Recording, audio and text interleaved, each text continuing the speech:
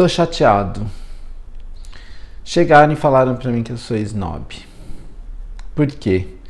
Porque tem hora que eu não acho a palavra em português. Ou porque tem hora que eu falo a palavra e traduzo a palavra de inglês e português e ela não existe. E agora o que fazer? Bom, tudo bem com vocês?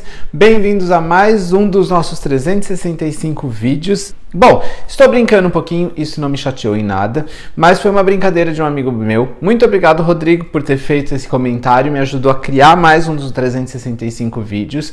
E eu acho que essa daqui é uma dica muito motivacional para cada um de vocês, tá? Por quê? Uh, bom, vou começar com uma história. Eu já morei nos Estados Unidos quando eu fiz o meu curso de pronúncia e uh, fonética, tá? Então eu morei lá durante dois anos. E isso acontece muito, é muito comum com quem mora durante muito tempo, pode ser três meses, seis meses, dois anos, mas que passa em contato com o inglês muito tempo. E o que acontece na, na maioria das vezes? Você ao estar com um contato tão grande, algumas das palavras se tornam é, tão comuns no seu dia a dia que você começa a utilizá-las no seu dia a dia em português. Então, para vocês verem o que aconteceu e da onde ele tirou essa ideia de que eu sou snob, eu vou te mostrar duas situações aqui que você vai falar: ah, André, agora eu entendi o que você está falando. Esse daqui foi de um vídeo que eu fiz alguns dias atrás. Prestem atenção no que aconteceu. E uh, fui colocar gasolina. Nesse momento que eu fui colocar gasolina, né?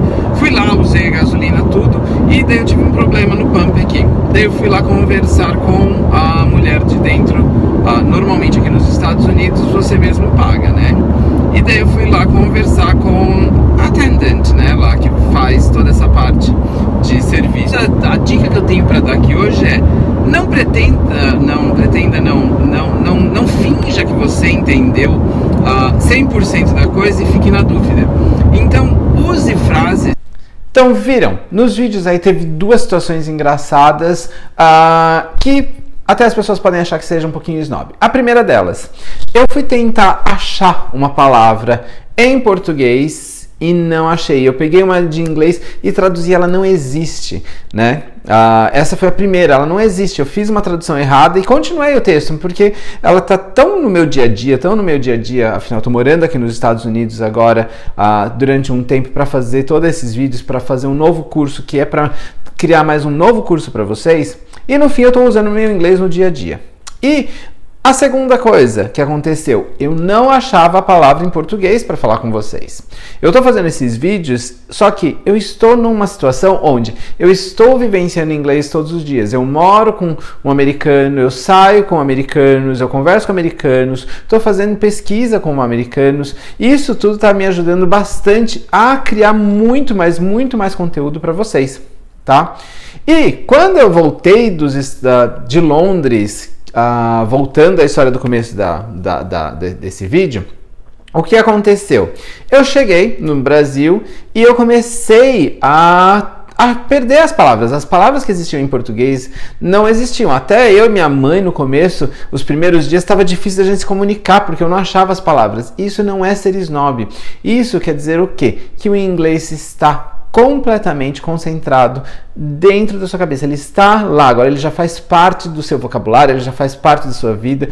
A sua tecla SAP já virou mais rapidamente, entendeu? Então, aqui fica uma super dica. Se você estiver sonhando em inglês, definitivamente você está indo mais do que mais para o caminho correto. Porque se você está em inglês, é que você está utilizando inglês todos os dias, seja assistindo um vídeo em inglês todo dia, sendo cantando músicas em inglês e prestando atenção nelas. Lembrem, só cantar não adianta, você tem que saber o que você está cantando e procurar uh, melhorar a pronúncia o máximo possível.